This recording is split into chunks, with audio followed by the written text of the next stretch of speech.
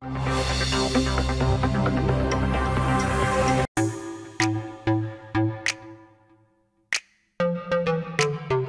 پاکستان پہنچنے پر برطانوی شہزادی کے ایک عمل نے برطانوی میڈیا کو سیخ پا کر دیا ہے۔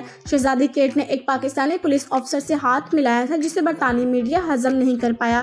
سرکاری افسر سے ہاتھ ملانا سفارتی آداب کی خلاف ورزی قرار دے دیا۔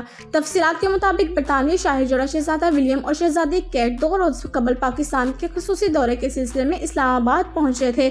اسلام آباد پہنچنے کے بعد گزشتہ روز دونوں شخصیات نے وزیر اعظم عمران خان سے خصوصی ملاقات کی تھی۔ ملاقات کے لیے وزیر اعظم ہاؤس پہنچنے پر دونوں شخصیات کا استقبال ایک پولیس افسر کی جانب سے کیا گیا تھا، جبکہ شہزادی کیٹ نے اس موقع پر پولیس افسر کا شکریہ ادا کرتے ہوئے اس سے ہاتھ بھی ملایا تھا۔ اب برطانوی شہزادی کے اس معمولی سے عمل پر بھارتی میڈیا پاگل ہو کر ان کے خلاف پروپیگنڈا کر رہا ہے۔ برطانوی میڈیا نے اعتراض اٹھایا ہے کہ شہزادی کیٹ نے سفارتی آداب کی خلاف ورزی کی ہے۔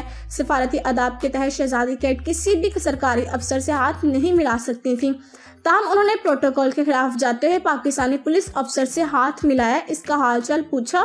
دوسری جانب برطانوی شاہی جوڑا شہزادہ ولیم اور شہزادی کیٹ ملٹن چترال پہنچ گئے۔ چترال پہنچنے پر برطانوی شہزادے اور شہزادی کو روایتی ٹوپیاں بھی پہنائی گئیں۔ پاک فوج کے ہیلی کاپٹر میں سوار شہزادہ ولیم اور شہزادی کیٹ ملٹن نے وادیوں اور ہمالیہ کی برف پوش پربتوں کا نظارہ بھی کیا۔ روشن آنکھیں، چہرے پر مسکراہٹ، سر پر چترالی ٹوپی کاندھے پر روایتی گرم شال، چمڑے کی جیکٹ اور لانگ شوز پہننے، کیٹ مڈلن چترالی ثقافت میں کوکاف کی شہزادی نظر آئیں۔ شہزادہ ولیم بھی سفید چوغر میں ملبوس تھے۔ شاہی جوڑا مقامی کیلاش قبیلے کے روایتی رہن سہن کا مشاہدہ بھی کرے گا۔ برطانوی شاہی جوڑے نے گزشتہ روز اسلام آباد میں مصروف دن گزارا۔ شاہی مہمان شہزادہ ولیم اور شہزادی کیٹ میٹل نے صدر مملکت عارف الوی اور وزیر اعظم عمران خان سے ملاقات بھی کی۔ ایوان صدر پہنچنے پر صدر مملکت عارف الوی شب کے وزیر اعظم ہاؤس آمد پر عمران خان نے معزز مہمانوں کا استقبال کیا۔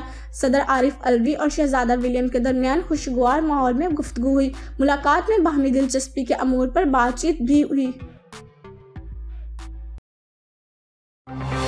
Thank you.